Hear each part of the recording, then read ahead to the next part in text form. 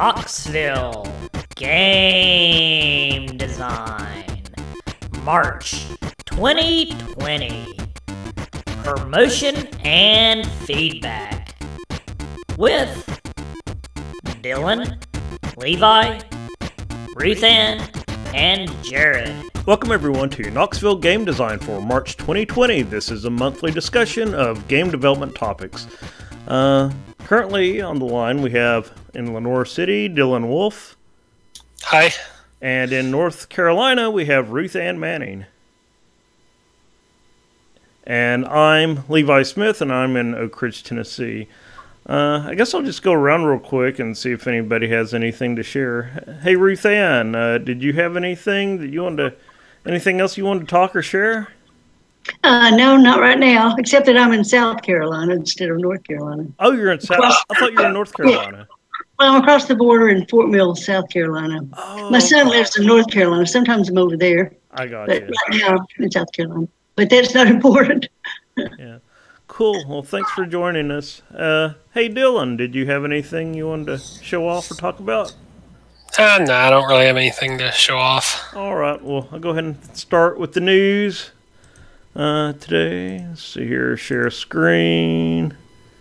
Share, share, share. Okay. Um, got my tabs here. Okay, so the first thing we talked about this a little bit earlier on the Discord, but there's going to be an, an event at Token Game Tavern uh, for East Tennessee streamers. I think all of us that do the streaming for Knoxville Game Design, all, all of us that do this meeting podcast, obviously we're invited to this. So this will be on the Ides of March, March 15th. That's the way I'm remembering it. Uh, looks like it goes from 4 p.m. to 11 p.m. So looks like a lot of people have signed up as interested, but nobody has signed up as going yet. So we'll see how many people show up to this. I'm planning on going. I'm hoping to get some. I know Dylan made some cards for us, and uh, and hand those out. And I want to make some new brochures and things like that. But with it coming up so soon, I may not get that done in time. So yeah, if anybody wants to meet us and come talk to us, uh, come to this event at Token Game Tavern. Uh, we have Ludum Dare 46 coming up in April. So we'll have one more meeting before this, but I'll go ahead and remind everyone earlier that uh, Ludum Dare 46, which is twice a year now in April and October. So uh, we'll plan on doing the get together at Panera Bread again and talk about the theme. Uh, and this one does start at 9 p.m., so we'll plan on getting together at 7 p.m. Eastern Time and then staying until the theme announcement at 9 p.m. And I guess the theme voting should be starting soon. Oh, theme suggestions are currently open, so you can suggest themes. You just got to log in, and uh, and then the voting will probably start in a few weeks. Okay, so, so see who it was. Uh, someone on uh, who recommended this. Trumpet seven three four seven in our Discord channel brought to our attention that Godot, Godot, it looks like Godot, but I think it's pronounced Godot, is really pushing these Godot communities. So it looks like they're trying to build communities around Godot. I really haven't looked at this too much, but it looks like they have a ways to set up uh, a channel and things like that. So I'll probably look into this more. Looks like interesting stuff. Also, let's see here. Locksmith Army, who's in our Knox Game Design Discord channel. Uh, was talking with him a little bit last night, and he's recommending this GraphicsGale, or th- he said this is what he uses to do pixel art. I've been using Aseprite, but this is maybe another option for doing pixel art right here. So I'll probably check this out later. It looks like it's a pretty good tool. Uh, go ahead and mention Vector in Lexington, or it's near Lexington, Kentucky. It's actually Richmond, which is actually a little bit closer to us here in Knoxville, a little bit south of Lexington. It's coming up April 24th to 25th, so that's actually going to be, I believe, the weekend after Ludum Dare. So I might be able to actually attend it this year. Uh, they always have a lot of speakers and things like that. Um, looks like it's sixty dollars for two days, so I, I don't know if I I'm, i would go both days or not. Um, but uh, it's probably worth going both days. I just don't know if I want to get a hotel room and everything. But uh, should be good stuff. I've never been to that one, so I'm interested in checking that out. Um, just a quick, a few things that I've been working on. one thing, if you're ever developing games, uh, if you have like, if you're especially if you're doing like command line builds, one thing that you always want to do, and I could probably do a whole talk on this in the future, but uh, make files. It really makes building your games a lot easier. Uh, one, I was just going to share one tip because I was actually doing a full recompile of my SDL shooter game that I've been working on uh, every time. And when you start developing a game, that, that usually takes like a couple of seconds. But after you start building more and more and more, it can take up to like 30 seconds or a minute. So what you want to do is first compile your C files if you're doing C into object files. That way you only recompile the things that you want that you need to, the files that have changed. And then you take those object files and use what's called a linker to link those together. But the thing that I wanted to point out is if you're doing a make file and you don't have a dependency defined for .o, like percent %o, colon percent .c, that means compile all your C files into object files. If you don't have this specified, then um, it's going to come up with its own uh, default uh, command or let's see here command for compiling that. So when that happens, you lose all your specified or specialized parameters, and that caused me a lot of headaches. So I got that fixed. I'm also passing this dash D min GW so I can do specific things for this opposed to the Mac build that I have on my MacBook Pro. So yeah, I might talk about that on a future show. Just make files. I think that'd be pretty interesting. Let's see here. And yeah, this is another thing that I've been working on. It's kind of nerdy, but I've been kind of going back and looking at some calculus. And so I remember a year ago I did the math for game developers talk, and at the very end of that I said calculus is not really used in game development. Well, I'll go back and say I was kind of wrong about that because if you ever use a sine or cosine function uh, in your game, which is really useful for doing um, circles, moving things around a circular path, or figuring out angles and distance and things like that, you use sine and cosine quite a bit. And the one thing I never knew is how to actually calculate sine and cosine. So what they what they have, and I remember hearing about this years ago, is the Taylor series. I think there's a spe- uh, specialized version of this called the Maclaurin series, but I usually don't use that one. But with the Taylor series, you can actually calculate the value of sine and cosine, and it's this function right here.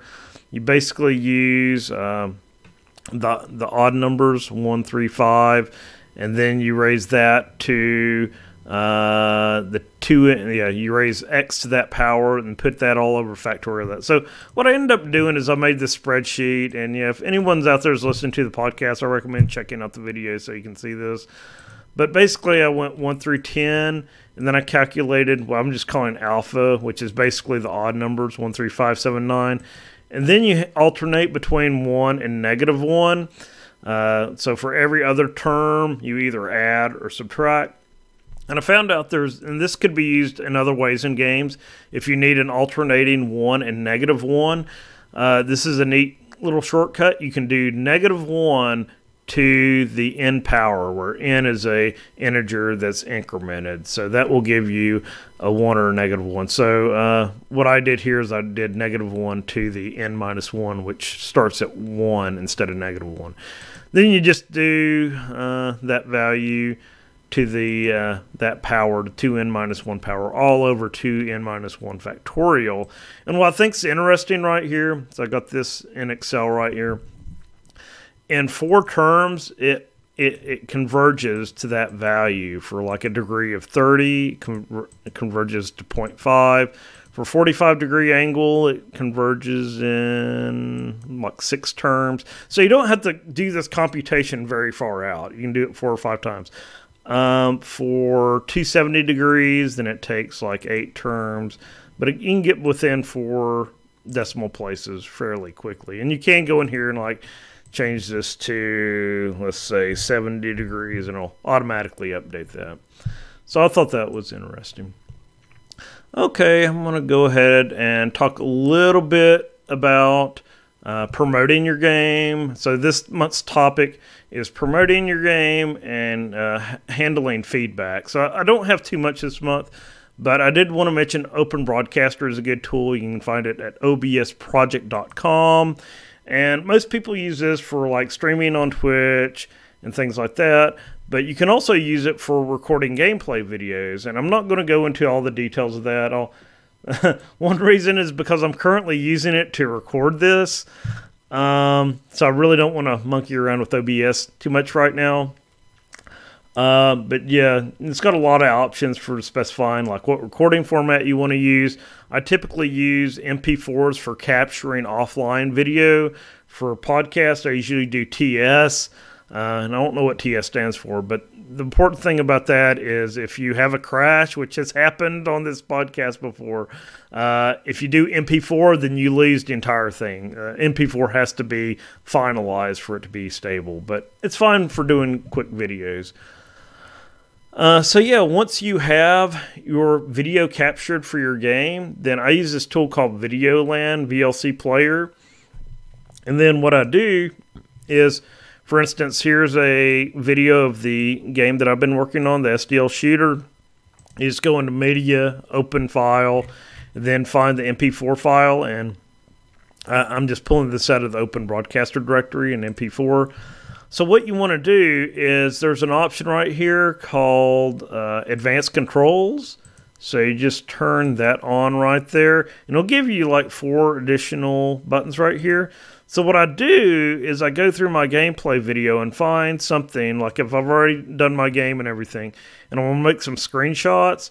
I just go through here, find something interesting like these bugs right here. So it's like, okay, this is pretty cool. Let's find a place where I'm shooting.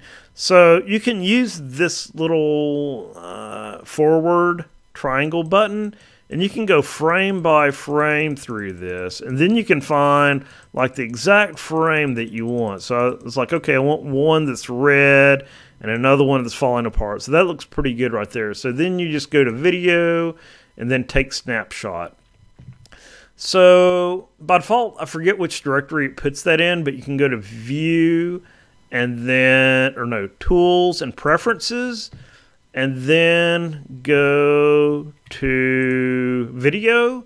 And then down here under video snapshots, you can specify the directory where you want those snapshots to go.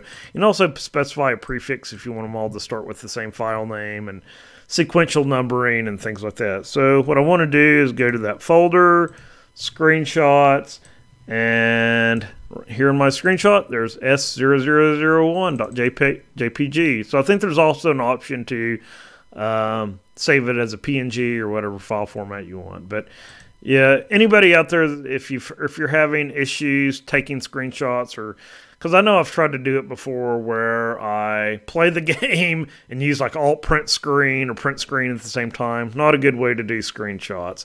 I highly recommended recommend doing it this way. Uh, there are other tools out there as well, like uh, Adobe Premiere Elements. I use that sometimes too for using screenshots, but this is a, a way that you can do it for free. Okay, so a little bit about promotion. Uh, here's a couple of sites. Uh, IndieDB, I've used this for quite a few years. I don't know how many people still check this out, but it's a good place to go post your games, you can post screenshots and things like that, and you can see how many people are looking at it and post information about your game. I think they can actually host builds as well on IndieDB.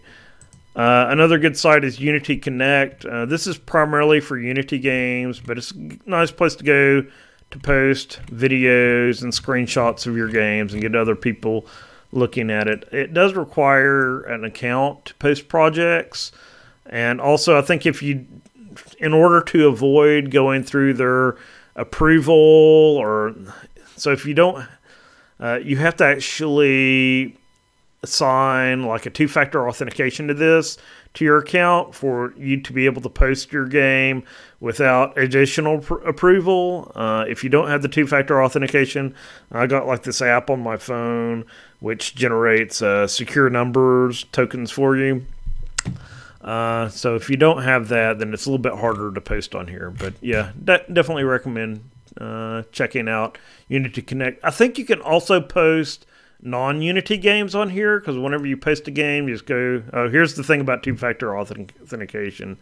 Just skip that for now. So you can like pick a game. Uh, like you want to post a web game or images and videos, I'll just say images and videos. So you type in the name of your game, a description, then you can upload photos and things like that.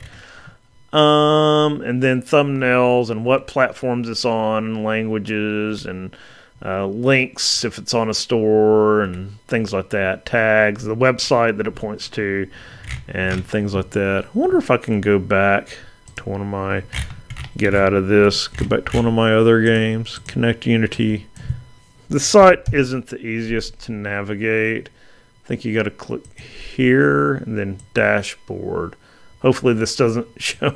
Let me pull that over for a second. I don't know what that's about to show. Okay. Uh, so yeah, let me click on that right there.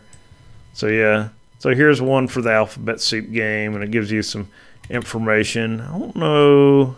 Should be a way to edit the game, but I'm not seeing it here right now. I think I was going to say I've never used Unity Connect, but I think that's a really good idea for promotion.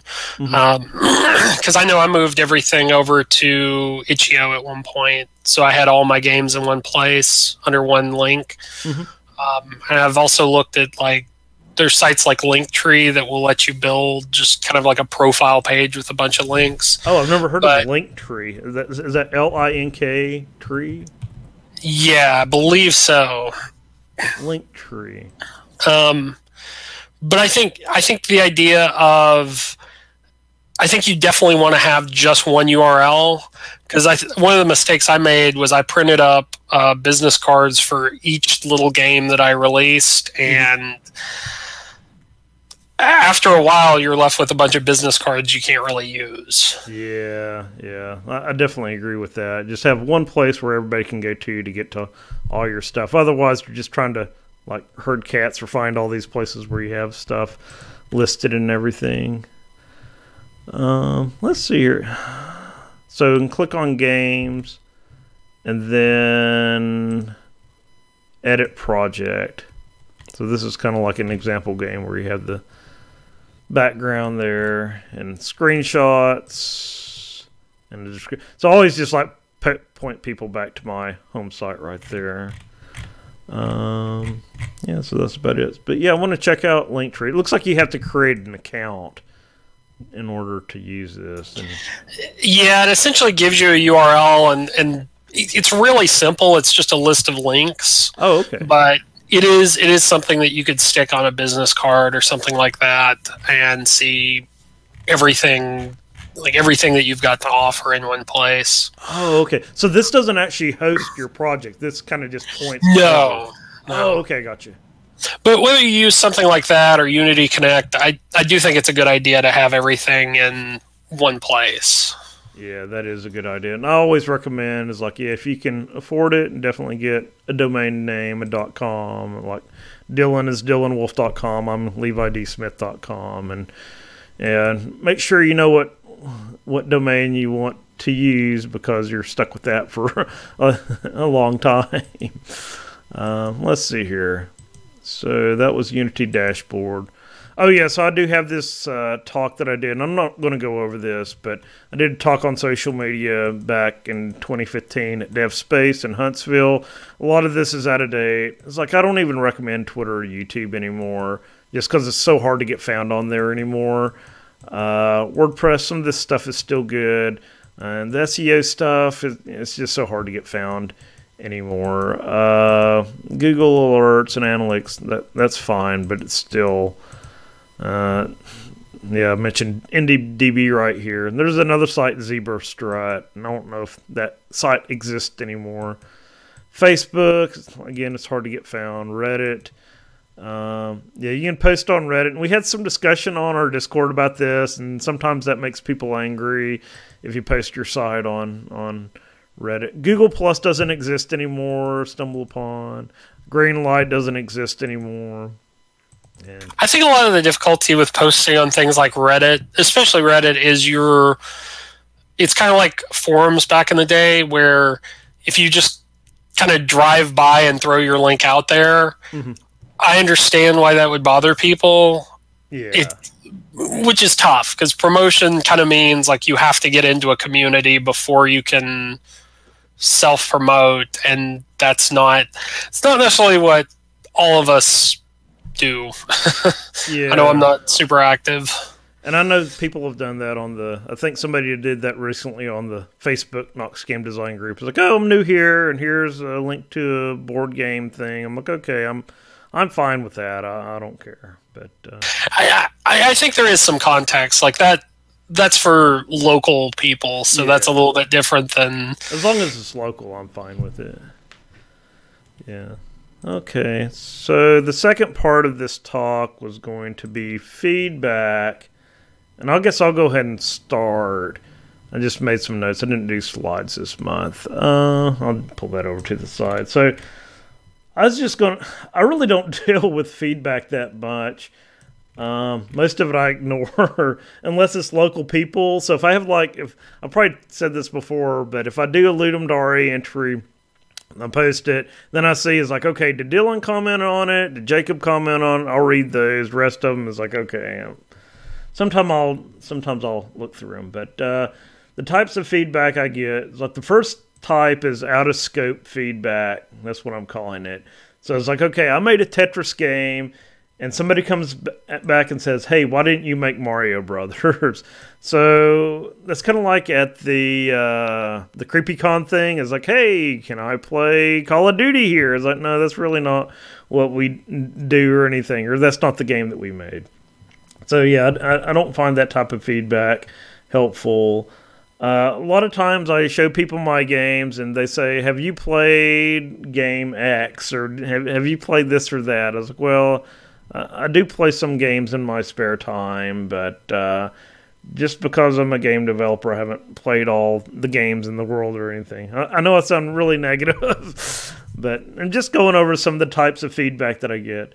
Uh, and the other type of feedback that I really love is when you tell somebody, show somebody your game, and they say, "Hey, I have an idea for a game," And it's like, okay, that's great. And you just try to be nice and say, uh, okay, that's a good idea. But the, the ones I really like are the ones where people say, hey, I have, I have this idea and I'm starting to work on it, or here's what I've done so far. Uh, but just because you have an idea for a game, yeah, that, that's. I have other opinions. Everybody's got an idea for a game. But yeah, I mean, just for small talk, that's fine too. So it doesn't bother me too much. Uh, the other type of feedback that I see, especially for game jam games like the Ludum Dares and the ones that are created in 48 hours, are it's like okay, I, I make like. Uh, uh, a Tetris game, or I don't know, like I make Mario Brothers, and then they'll say, "Hey, why didn't you create eight levels for this? And why don't you have this power up? And why don't you have this and that?" It's like, okay, it's a game jam. This was made in 48 hours, so it's good. I mean, I, I welcome that, but it's like, okay, that's really. It's the type of thing is like, yeah, if I did have a few months to work on this, then these are things I definitely would have uh, added to the game. The ones the ones that I really like, not being sarcastic, are uh, when people tell me actual things that are broken in the game. And I've had a few, few people, I'll say, hey, can you go out and play? And they'll actually tell me, hey, this isn't work or this is glitching and things like that. So that's the best type of feedback that you can get. Uh, I think I had some feedback like that with that Yahtzee game that I developed. And somebody's like, hey, the dice got stuck, or it didn't come up with the right value, or something like that. I mean, that's the best type of feedback that a game developer can get is the actual like bug reports and things like that. And that also shows that they've actually played the game. Um, and that's another thing is like people that come to you and they say, "Hey, do you want to come work on my game?" or "Can I work on your game or one of my games?" and I'm like, yeah, sure. And they don't know any of the games that you've made. so it's like, okay, if you want to work on a game together, at least check out and see the stuff that I've developed first uh, before you ask things like that. So the worst type of, of uh, feedback that I can get, uh, either positive or negative, is on the negative side is like your game sucks, or on uh, the other side is your game is great. It's like okay, it's kind of the same thing. It's like this is. I mean, it's nice to hear that, uh, but uh, it's really not helping me either way. Uh, okay.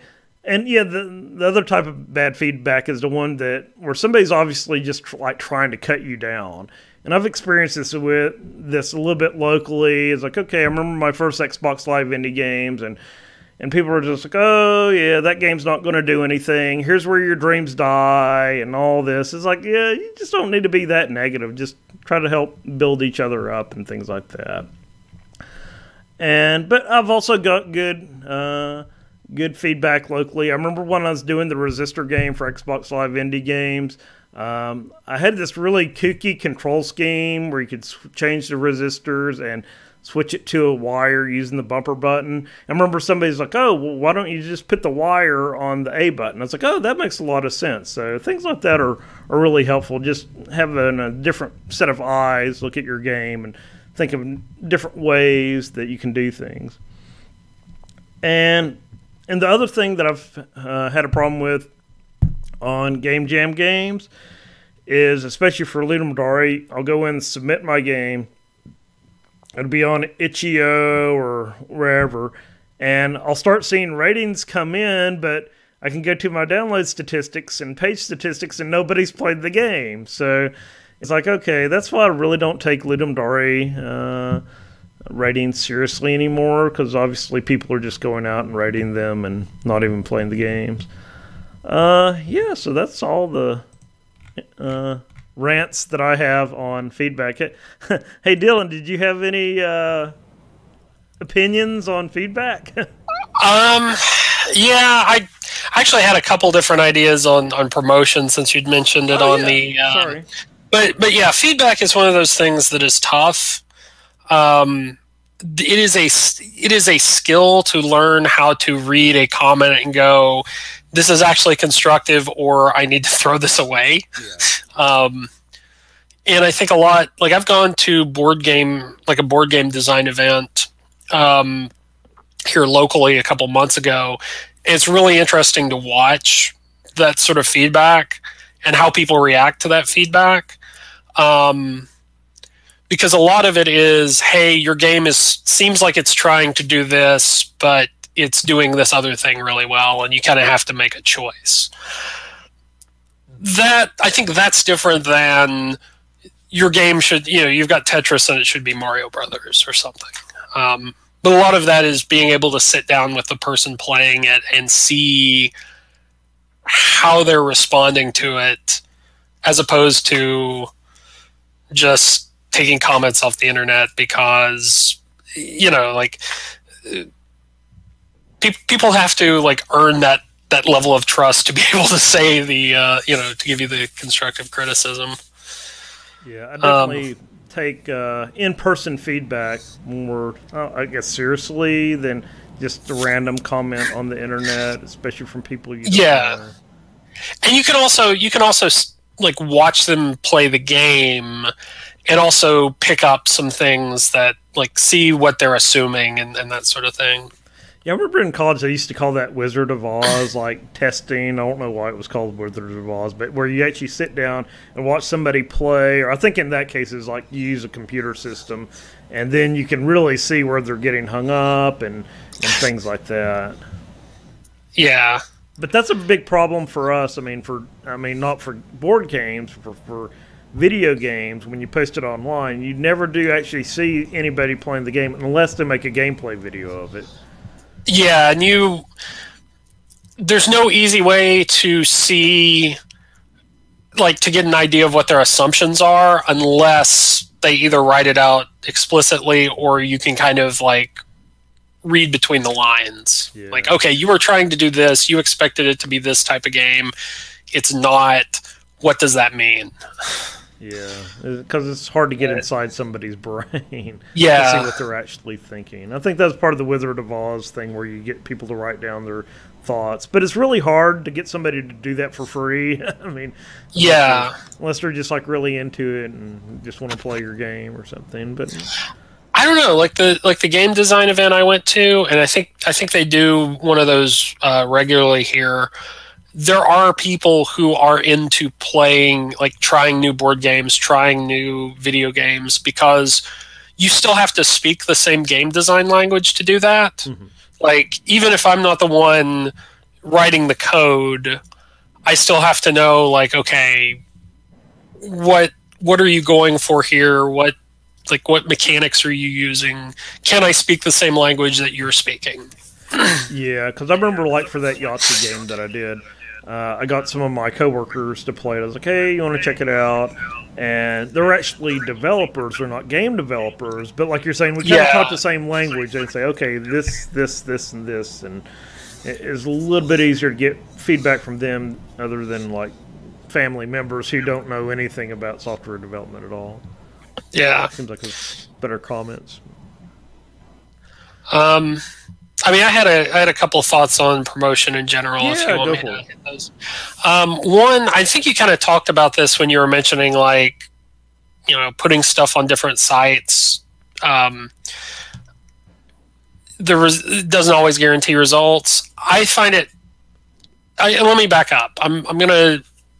I am a hobbyist developer and that is kind of the way I think about this. If you're an actual like for-profit indie developer who's trying to make this a day job, you're going to think a different way.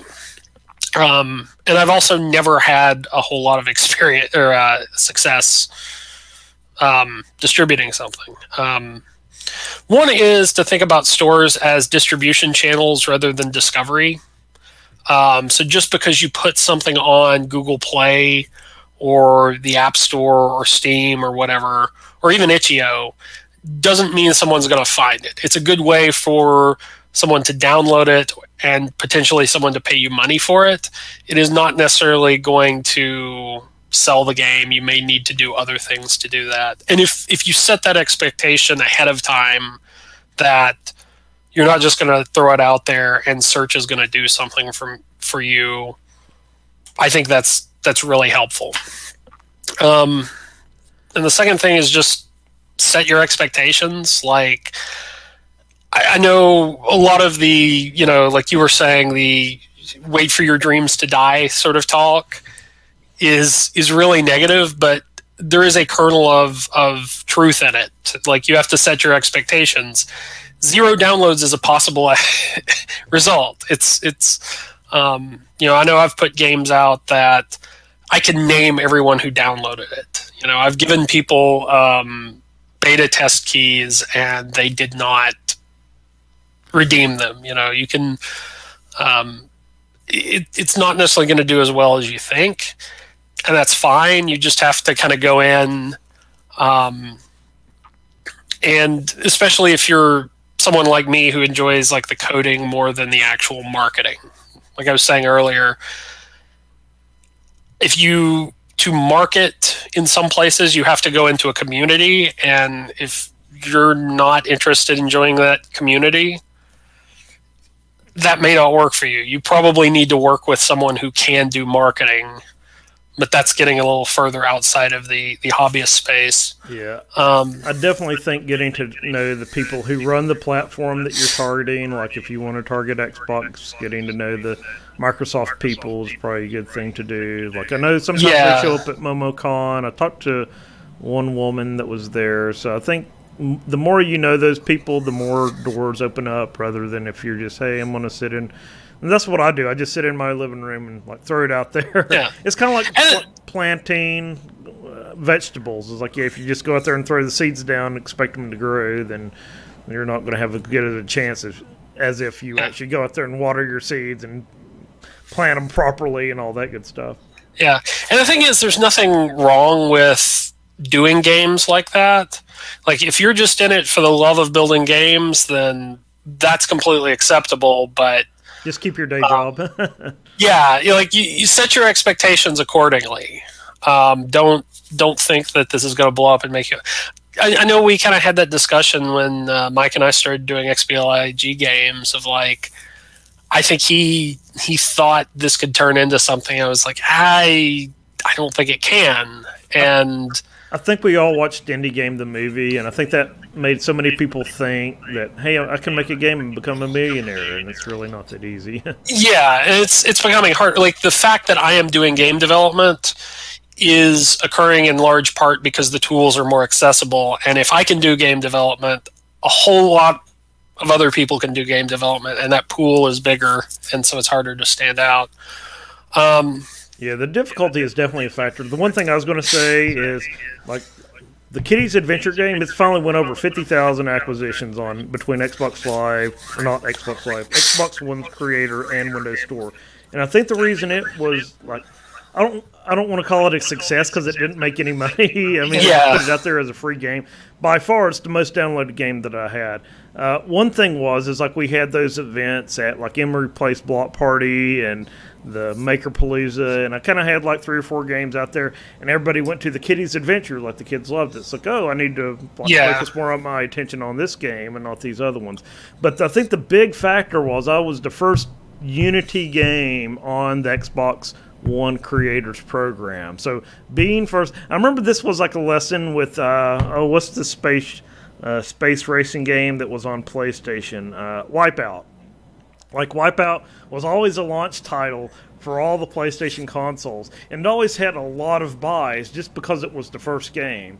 I think yeah, that's I think that's kind of the same thing with the Kitty game, as I was the first Unity game on the Creators Program. Now, it didn't have lots of uh, promotion or anything or visibility, but in the Creator section, it did show up like number one and free downloads and, and recent and all that.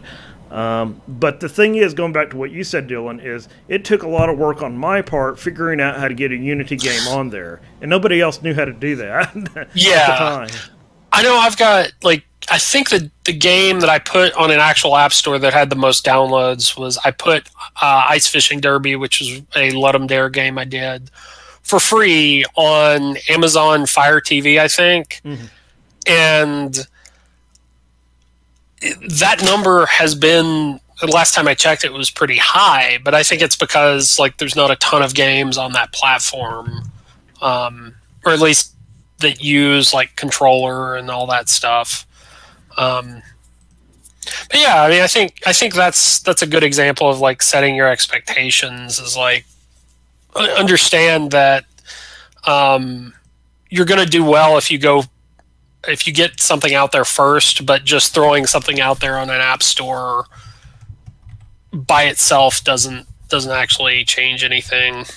Yeah, that reminds, um, reminds me. There's a book, and it, it talks about red oceans, the blue ocean strategy. I haven't read this book, but I kind of get the point of where it's going. Uh, they talk about these red oceans and blue oceans. Basically, the red oceans are where all the sharks are, and this is like where everybody currently is and like all the sharks are currently eating everything up because everybody's already done this before so what the yeah. point of this book is to go to the blue oceans go to where nobody else currently is and you'll have a lot more success um, the the difference is like the red ocean is very clearly like the the mainstream the most popular um, and and like this is one thing i noticed at creepycon like hardcore gamers are not going to play my games, but kids seem to really like them. Mm-hmm. You know, I think that's true for a lot of indie games because, you know, kids come to something with different expectations than I would. They probably have to, a more open mind. Is okay, what's this? Yeah. Whereas the hardcore gamers, I mean, they're I don't know they they like what they've been playing. They they kind yeah. of know what they like, and and I've heard like marketing talks like that is like yeah if you've always bought brand X of uh, razor blades for the last 20 years, pr- there's probably no ad in the world that's going to make you buy brand Y of razor blades just because that's what you've used your entire life. Yeah, or you're going to go searching for the exact perfect game, which, if if I'm honest, like any game I've built is not the perfect game in that genre. There are better games in that genre. Um, but yeah, I think I think so that it kind of leads into my third point like set your expectations and then um, make sure that you're not just reacting to the response you get, thinking about think about how you're handling it. Because I know as a hobbyist game developer, if you come in with a lot of like high expectations, it's gonna burn you out. Um, it's going to be really tough. And if you can kind of scale those down, it doesn't hit so hard. Um, but but yeah, you need to think about what you want. Like one reason I've um, I've kind of backed off from doing a lot of game development is it's hard to it's hard to go through that cycle of like put something out there, get a few hits, but you know the the amount of feedback you get doesn't necessarily line up with the amount of time you put into it. And so be a little more choosy. Like do something because you want to do it, not not necessarily because of the reaction you think it's going to get. Um, yeah, making the game is just half the battle. Is like putting it on different platforms. I mean, it can take days. I know to get like stuff on Xbox, and I'm sure yeah. you remember the evil checklist and all that back in yeah. yeah, it's like okay, is that worth it? Well, it is. Like early on, it's definitely worth it to just have something out there that feels really good. Later, it's like if you don't get the response that you're expecting, it, it can kind of be a letdown. It's it's and what's really easy to do is just like, well, I'm going to put put out something bigger and better on there. It's like, eh, slow down and and you know think about why you're doing it because just because you do something bigger and better doesn't mean it's going to sell well.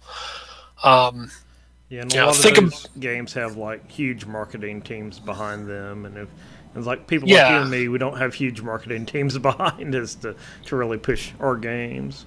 Yeah, and and the thing is, like, because it's your game, that's your baby out there, and you need to be aware of it. Like, I know, like, looking at some of the Steam Greenlight like comments that you and other people have gotten, like, that would have like that would have broken me. I'm just like, I don't want to do that because it, it has an effect. You don't think you don't think the troll comments have an effect, but they do. Yeah. And you know, you need to take that into account with what you're doing. I think I must be like a masochist or something. I just like the, I just like people throwing stones at me. well, I mean, there, there is a there is a sense in which that feels good because at least you're getting a reaction. Mm-hmm. But I know it wouldn't be something I would be aware of, but I know that would bring me down. Yeah. So it's like, okay, I'm not going to go there. It would be really cool to have something on Steam, but holy crap, you know, you're just getting exposed to people who want to sift through and make negative comments. Why would I do that to myself? Greenlight was brutal. I think there were just people that like troll, trolled the Greenlight games all day and just yeah. I know a few other yeah. people were on Greenlight and I was like, yeah, those comments could be pretty brutal there.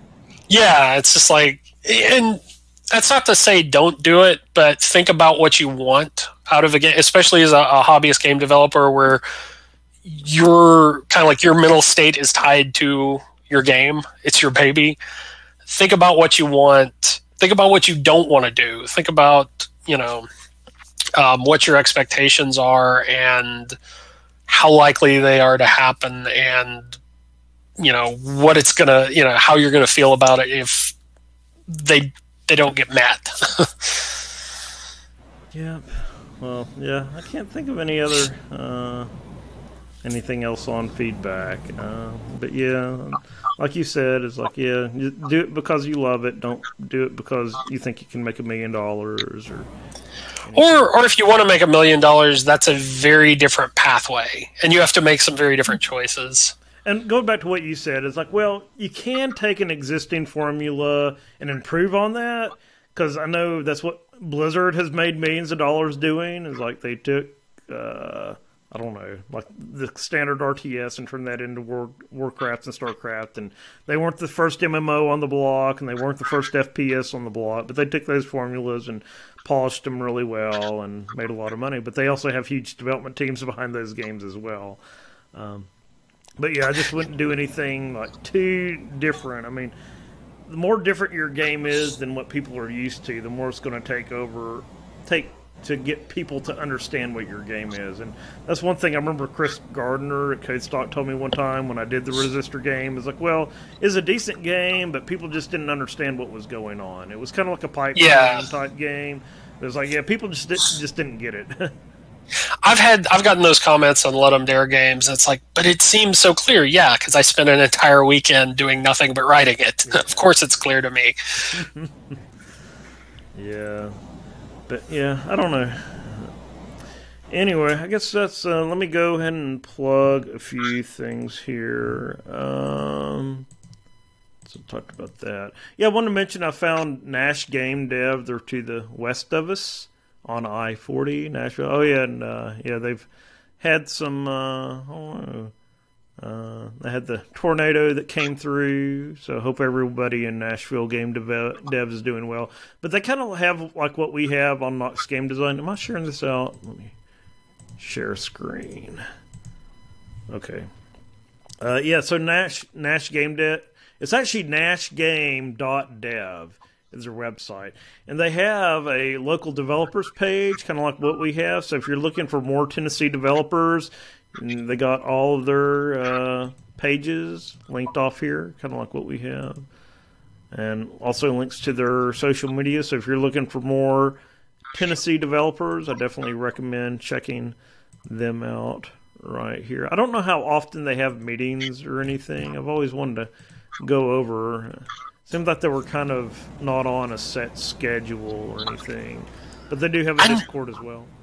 I know I've gone to some of the uh, events that or the panels at MTAC uh, that some of the guys there, uh, John Sensei, and I think a couple other people who go to those. Now, Um, is John Sensei in Nashville? Yes. Oh, okay. I, I, I know I saw him with the booth at uh, MomoCon. I thought he's like Atlanta or somewhere. I think he's out of there Oh, okay. because I think he actually talked about that in one of his panels, like that game game dev group. Monthly meetups, uh, but they don't have like upcoming events. There you go. So it looks like they. Yeah, I don't like this site. uh, but anyway, let's see here. So yeah, check them out. Also wanted to mention Knox Devs. Looks like their schedule is kind of plain right now, which is fine. Maybe they this just hasn't updated for March or something, but go check them out. Uh, uh, I know they have a lot of groups in the area. If you're looking for other things beside game dev like .NET and UX, I think we're a part of like their uh, the Knox Knox Devs organization somehow or something. At least we're on their page right here. Yeah, so let's see here. I think that's it. Uh, everybody check out Dylan Wolf on DylanWolf.com. Is Dylan Wolf on Twitter? Oh, hey, Ruth Ruth Ann, did you have anything else you wanted to share this Yes? I do. I was just waiting for you to ask me. Oh, okay, great. I've actually been doing programming since last month. So awesome. You want to know what I did? Yeah, what, what, what language are you using? Are you using Scratch again? Scratch, and um, we're doing some Raspberry Pi stuff. And also, I wanted to say something about the Vive. Which which one you want to hear first? Uh, talk about the Vive. Okay, the Vive, we're not programming on the Vive, but I just wanted to say that John has it set up to where you're not just sitting in the room watching these people moving their arms around and stuff. He's got a screen set up, a computer set up where he shows exactly what the one playing the game is seeing. So you're seeing what they're doing. You're not seeing them doing it. You, you know what I'm saying? You can see them moving around, what their movements are, but you can actually see the results of what they're doing in there. Yeah, I know I've done some uh, VR programming, and there's a way in the Steam VR like middleware program that you can say view what the person on the headset is viewing. So you can kind of, if Correct. you're doing a demo, you can actually know what the person is looking at. Yeah, that's what he does. He's got that set up to do that. I don't think that's that's not an automatic thing. I think he had to do something to make that work. Um, but now that's not me programming. But what I've done the last time I think we talked, I said something about I was just starting to do some scratch games for my grandchildren. Yeah. So my audience is very different from your audience. Mine is, well, actually, I did them for four grand, all four of my grandchildren, but only um, two of them have actually looked at what I made. I could tell you what I made; it's not important. But one of them is a Pong game, Oh, okay. and, and that one was really cool. My son actually liked that one, and then he he liked this one, but I haven't completely finished it. I took one of the Ludum Dare games that I made called Mar- Monster Me, and tried to um, convert that to Scratch, which is not all that easy. Um, but then the other programming that we've done is on those pies. Um, the one I worked on was the fruit game. Have you seen that? I don't you- know I've seen it. Okay, what you do is you have these sensors and you stick them down in a fruit, and you have that um, that particular sensor associated with the sound. So the one we've worked on so far is an eggplant. We stuck a sensor down in the eggplant, and my daughter was playing. I mean, my granddaughter was playing um, drums by you know just tapping on the eggplant. So. Mhm. That was pretty much fun. And then in the future, on the other pie that we have, uh, he wants to program it to where when his kids get older, they can't go into his beer room and pull the pull those levers and get boo- uh, get beer. Oh, So wow.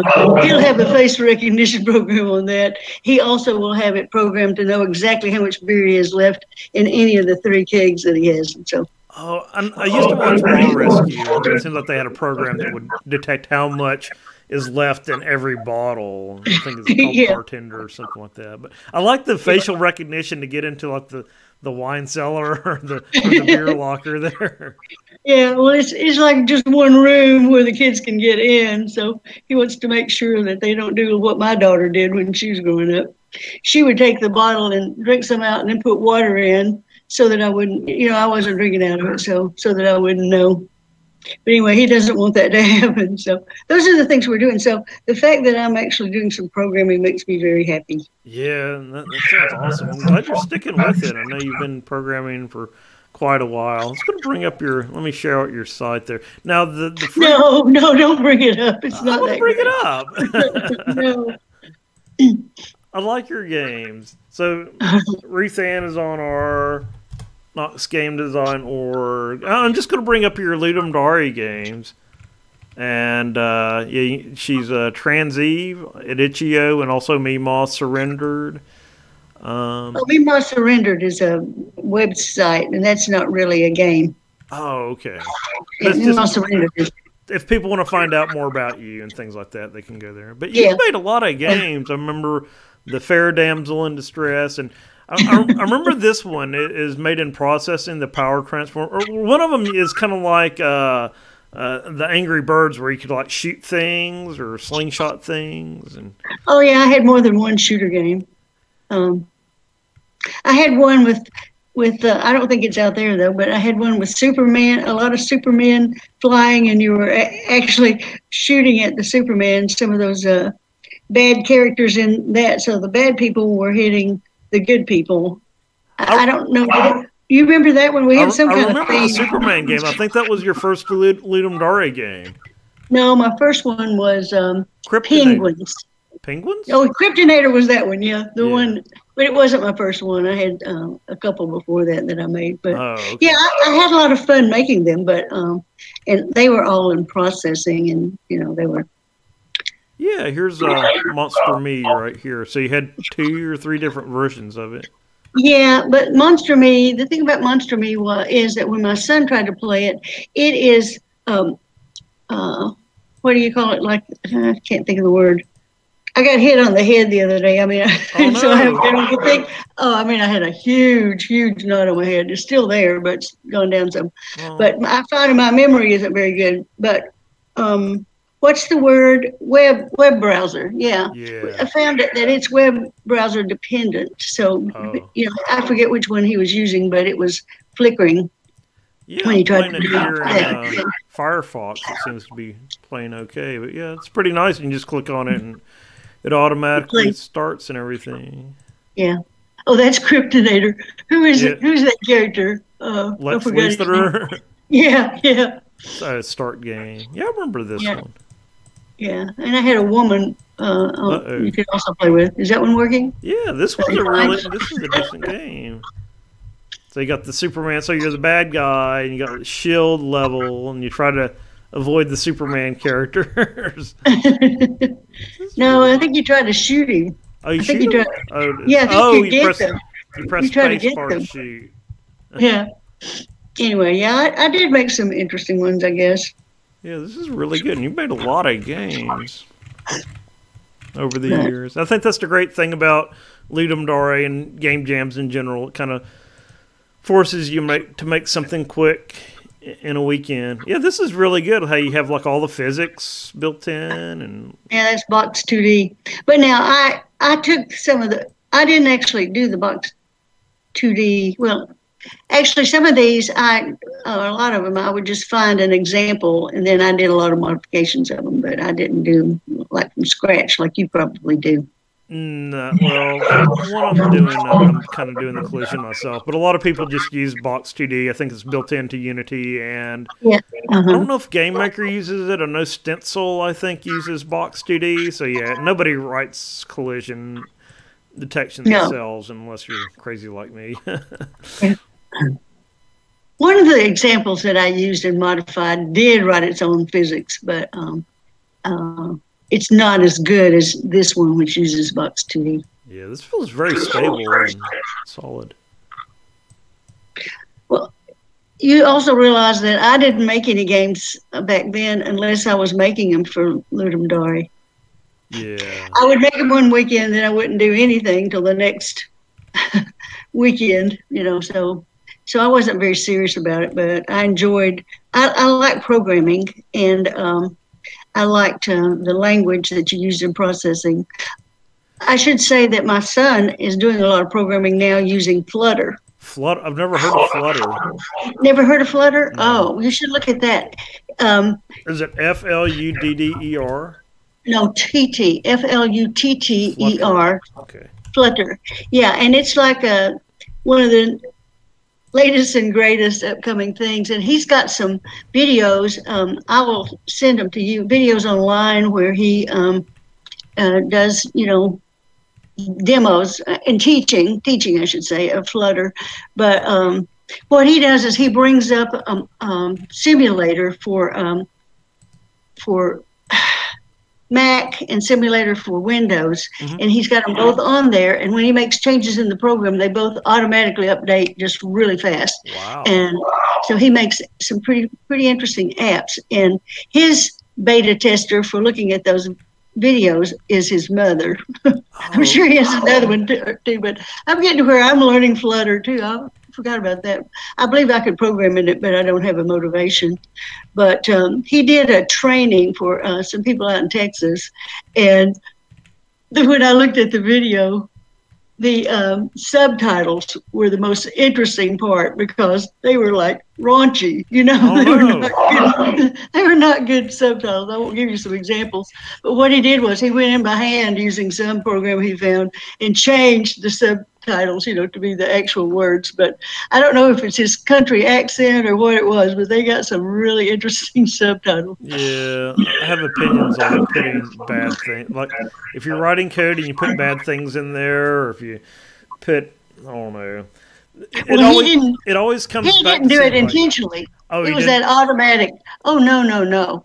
It was auto the automatic um, subtitles that were generated by the program that the woman used to to program his. It, it was an online vid- video, Oh, and I mean real time. I mean a real time video, and the the subtitles that came up out of that program were horrible. You know, I'm t- and so when I found them, John found them too. So he took another program and basically dubbed different subtitles. You know, he took every one of them and just a little at a time he fixed them. Mhm. So that took a lot of time, I guess.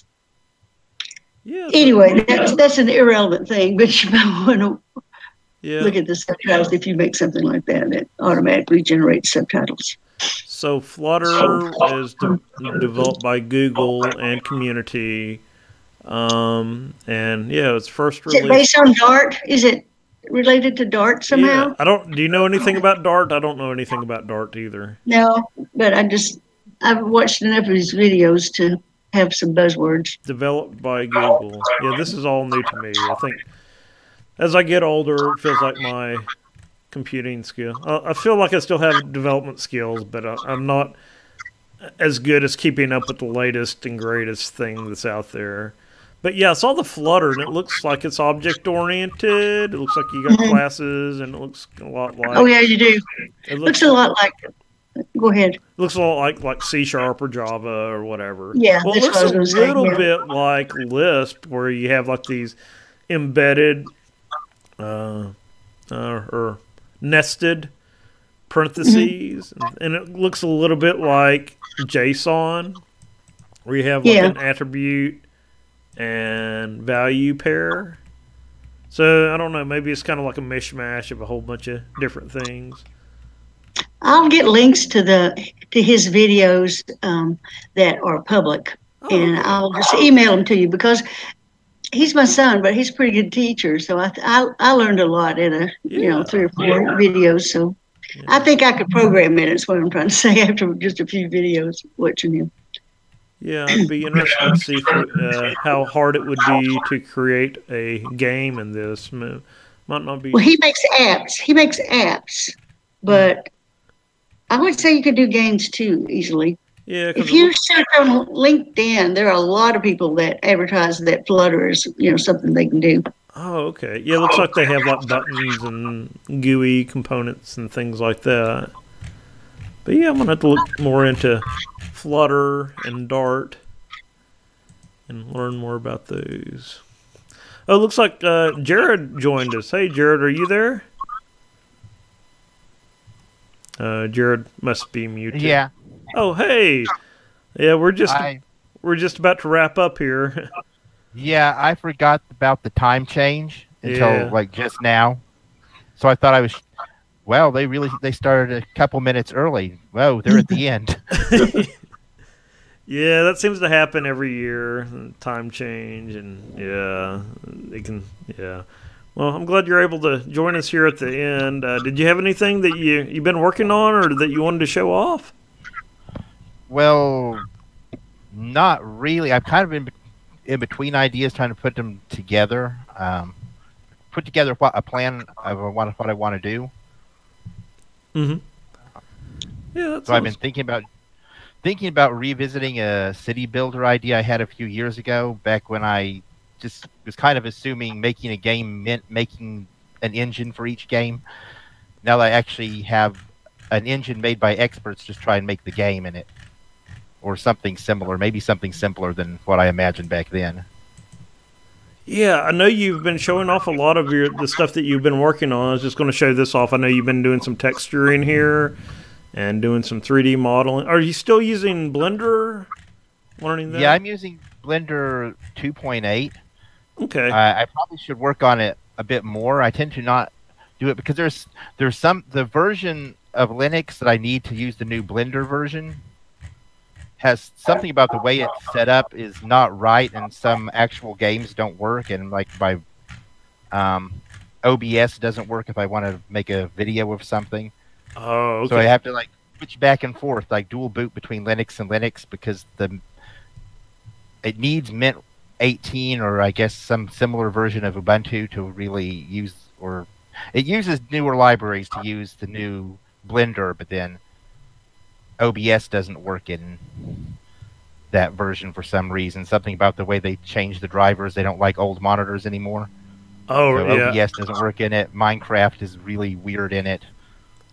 Flicker. So I to actually play a game or to record a video, I go back to the old Linux, and then I have to go back to the new Linux in order to do models. Yeah, I do have like one of my systems in dual boot mode, so I can go between like Ubuntu and Mint. But it's been a long time since I've updated either one of those. I think I'm still on the LTS version of Ubuntu, but I, I know I need to update because it's it's so old. But yeah, I've never tried running OBS under Linux before. I think I've used uh, obviously, like web browsers and GIMP and things like that, and I think Blender. But uh, but yeah, yeah. hopefully uh, OBS will update their stuff and get those Linux uh, issues fixed there. I, I know you're also working on some texturing. making different Yeah. textures. Yeah, I have a bunch of textures. Um, see if I can find. Yeah, making good textures is definitely an art, um, especially if you make them like where they wrap properly and and things like that. Yeah, that can be tricky, it's- and it's really hard to get where you don't where it doesn't become obvious at a distance. But unless you just make them really, really flat. Yeah, But I have a bunch of different stone textures. Stone textures are relatively easy because they just look kind of relatively smooth, and I have a couple of wood textures. I got a lot of them I got by just taking pictures of of like like the wood is from my deck, and I I started out with some bricks I kind of did by hand, but I also have bricks that I made by taking a picture of the side of the house and cutting it and editing it. yeah. I know GIMP has a nice tool because I've done that something similar for my Ludum Dare uh-huh. games. I'll go out and like take a picture uh, of something, a brick or the concrete, and then Blender you can go into uh, the the filters, and then you can say make seamless. But I think the default uh, make seamless doesn't always work properly. So I think there's like an add-on you can get called Make Seamless Advanced, and then you can kind of specify how much overlap there is on each side because it tries to like fade out each side and and and then like interpolate it or or do the the transparency gradient where they kind of overlap to make it look like one continuous image. Yeah, if you have something like like stone that doesn't really have a really obvious pattern, it, it's the default works pretty well. Mhm. But if you have something like bricks, then you got to get it kind of the right size and have a bit of luck to make it pretty good, and then you still are gonna have to kind of go in and edit it. You know, maybe cut a cut a little piece of mortar out and and paste it back in in order to try and make all the mortar for the doesn't necessarily the way it does it on the sides doesn't necessarily make it a good brick pattern by See, this is kind of like what I do when I'm doing a Ludum Dare game, Ex- except I actually go out and take a picture, but I'll just go in here and like edit, paste as new image, and then like go out and like do a square, mm, like that or so. Let's see here. I forget how you get an exact square, but basically you go in here and say image and crop to selection. Ooh, that didn't work right. Mm, let's see here. yeah a lot of times for a square i just get an approximate square that looks close enough and then i just resize it to a square Yeah, you usually can't tell a lot of difference so I think you can also like play around with the like the canvas size. So you can go image, uh, canvas size, and just say like five twelve. Oops, five twelve by five twelve. Resize. Then you can go in, go to filters, then map, tile seamless, then okay. That should give you a seamless tile. But you, you always notice like the the artifacts in here from where it's been the transparencies overlapping, which doesn't always look good. Uh, but yeah, I used to have like a make seamless advanced, which I don't think I have it installed on this one, uh, where you could actually play play around with how much overlap that you have. Yeah, no tile. and then i also made some maps that are kind of based on the bricks where i've extracted like the mortar hmm so then i can also put those over top of other stone materials and make it look like a different kind of brick Oh, that's cool. That's a good idea. Yeah, I know there's a lot of different things you can do to. Yeah, and that's one thing is like, yeah, if you have a game, you don't want all the walls looking the same. That's one thing I need to go back and do in, in the game that I'm working on because kind of all the levels look the same. So I need to add some variety and things like that. And then the other thing I was doing a little bit of was just experimenting with making um, height maps. Oh, okay. Uh, let me see if I can. I, I haven't done much with height maps. Uh, I always get confused between a height map and a bump map. Are they are they basically the same or? Oh no, no, these are for terrains. Oh, terrains. Oh, gotcha, gotcha.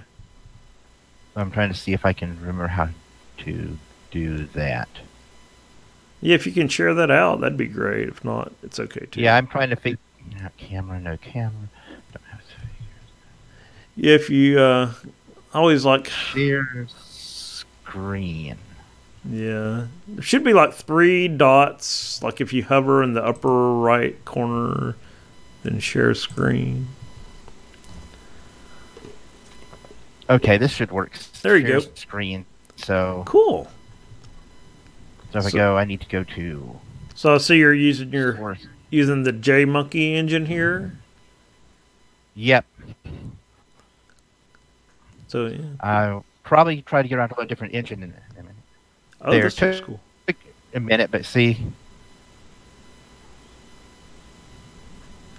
that uh, the water is just like a flat quad. So if I go underneath it, all of a sudden it just disappears right now. But Yeah, getting so water. this is basically just a three by three, five twelve by five twelve. Mhm. It's not it's not infinite or anything. It's it's five twelve by five twelve, and then I have a three by three grid of them that I've just I made in order to figure out how to get them to line up correctly because at first they didn't want to do that. I had Oh, a okay. few bugs that made them look where they looked okay by themselves, but then they didn't line up. So how are you specifying So your height map? Are you just going in I'm with an editor or something and specifying that, or or do you have a tool to actually? No, there's something like that built in, but I'm generating it. That I wrote, where which one of these did I put it in? A. I they have a version where you can um, create height maps with like a uh, like GIMP as a texture, Mhm. but that's not what I'm doing. I used let's see, Flatland is not what I'm. Basic noise. I I have created. Let me go over to noise.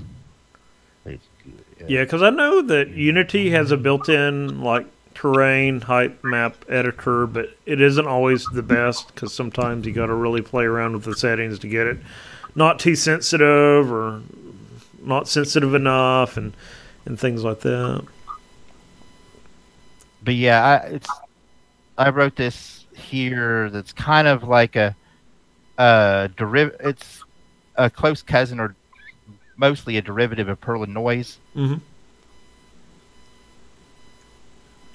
So it goes in and it, it creates height maps by. You know how Perlin noise works? No, I don't.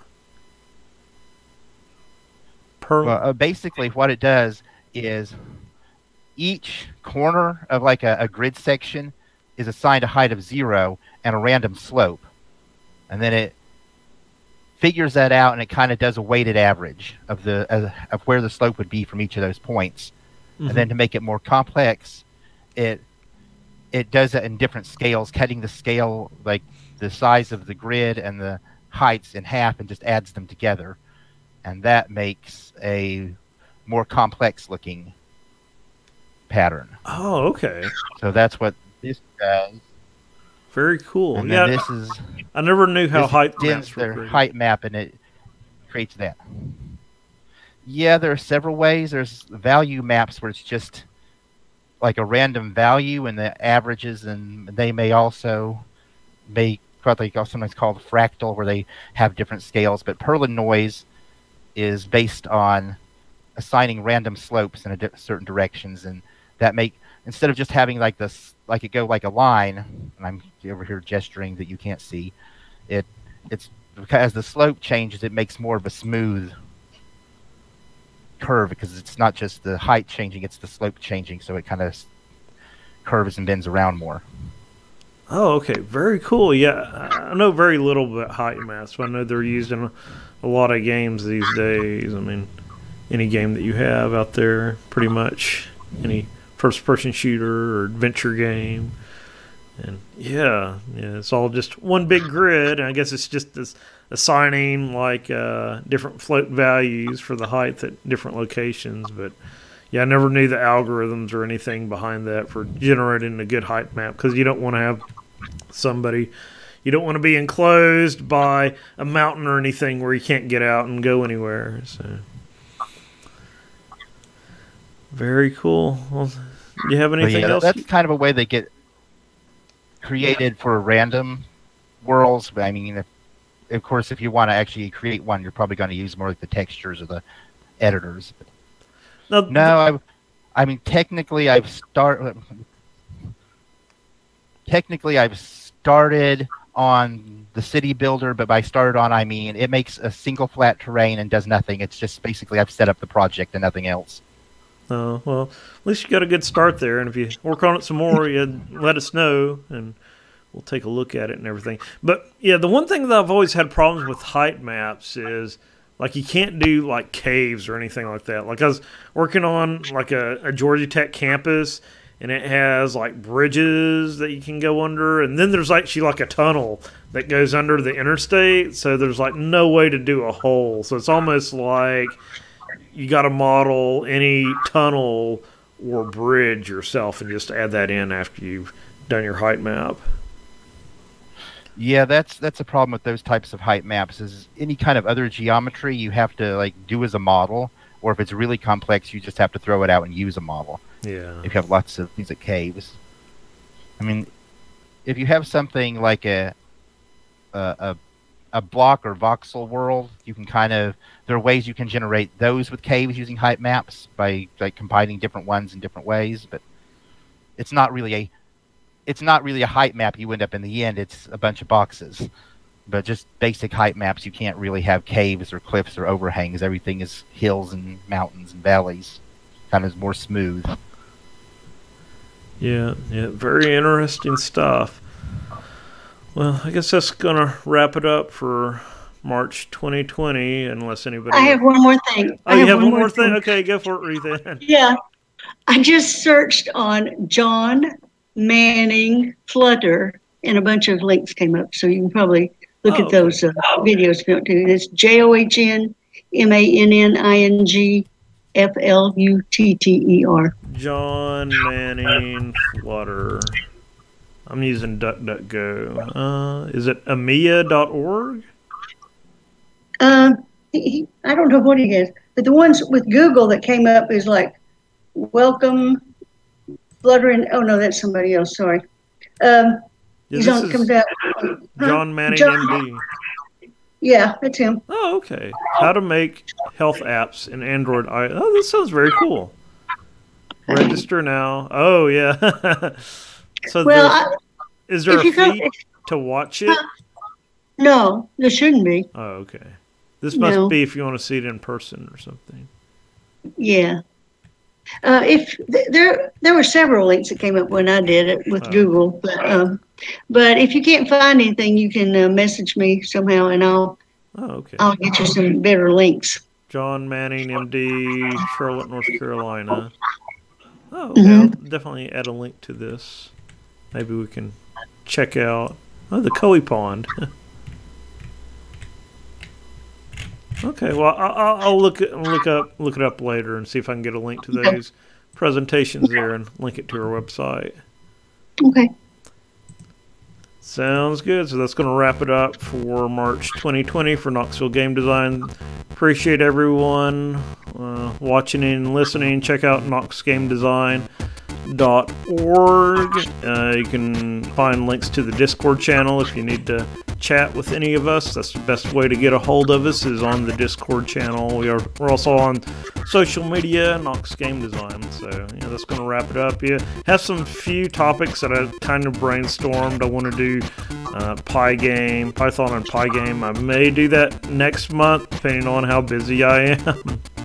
Uh, then, then in April or in May, we'll do the Ludum Dare 46 show off because the Ludum Dare 46 will, I think it will be after uh, the April meeting. And then after that, I'm thinking about doing MonoGame because I think I want to take that C code that I did for the SDL shooter and port that over to mono game. So, anyway, appreciate everyone listening and watching.